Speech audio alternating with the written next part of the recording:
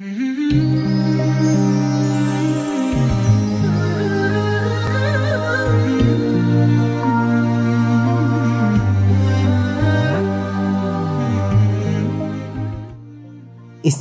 أمد الحرب الدائرة في اليمن تزيد من كارثية الوضع الإنساني والصحي وتضاعف أعباء الحياة ومشكلاتها على كاهل الفقراء والذين باتوا يمثلون الغالبية العظمى لا سيما في المحافظات التي تشهد حربا مستمرة كمحافظة تعز ومن هنا وفي إطار حملاتها الإغاثية والصحية المختلفة وتجاوبا مع الأوضاع الصحية المتردية واصلت هيومن أبيل أستراليا مشاريعها الصحية الرامية إلى تخفيف معاناة المرضى وذلك من خلال مشروع القوافل الطبية.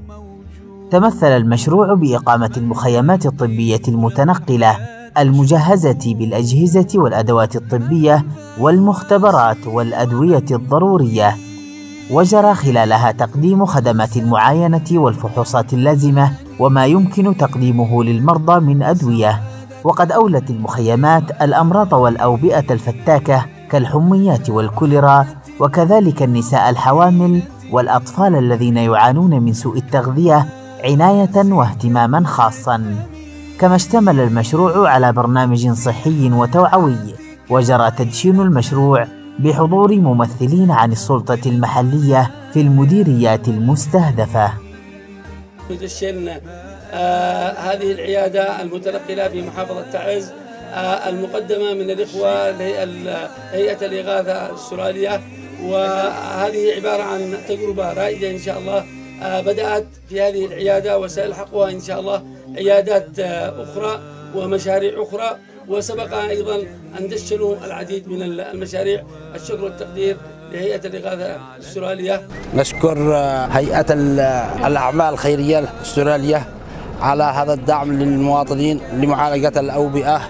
كما نشكر الطاقم الطبي وننقل تحايا السلطة المحلية للجميع. ونشكركم على الاهتمام بالمواطنين والأمراض في هذه المرحلة الحرجة. حملة تستهدف أكثر من 500 مريض في الأوبئة المنتشرة في من الحميات والكوليرا وغيرها من الأوبئة في المخيمات والمناطق الريفية التي لا تحصل على الخدمة الصحية. هذه المشاريع تأتي في ظل ما تعيشه اليمن وخاصة محافظة تعز. في مجال الصحة في مجال المياه في مجال الغذاء. بدعم كريم من أشقائنا في أستراليا بدعم من هيئة الأعمال الخيرية في أستراليا. مقدمة من فاعلين خير وفاعلات خير. جزاهم الله الخير على هذه اللفتة الكريمة والإنسانية.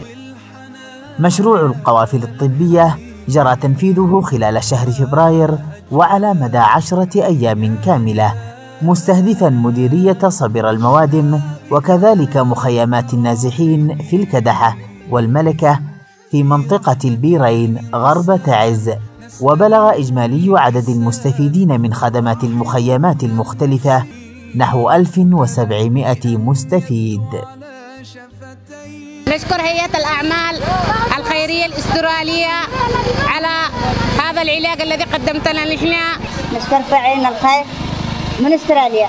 وربنا يحفظهم يحقاها عليهم. استمروا معنا بهذه الحملة لأن الناس فقراء وما عندناش فلوس حتى نعالج أولادنا بالمستشفيات التجارية. الله يجزيكم ألف شكر وألف خير إن شاء الله. الله يجزيهم خير الله يجزيهم خير. شكرا على العلاج. تبرز أهمية مشروع القوافل الطبية باعتبار القرى والمديريات المستهدفة إذ جرى تنفيذه في المناطق الأكثر وباء والأشد فقرا كما تكمن أهميته في كونه يأتي في وقت ترتفع فيه تكاليف الأدوية نظرا للظروف الاستثنائية التي تمر بها مدينة تعز. فجزى الله الإخوة هيومن أبيل أستراليا خير الجزاء وأدام الأمن والأمان والعافية عليهم وجعل هذا المشروع في موازين حسناتهم. يرحمهم الرحمن.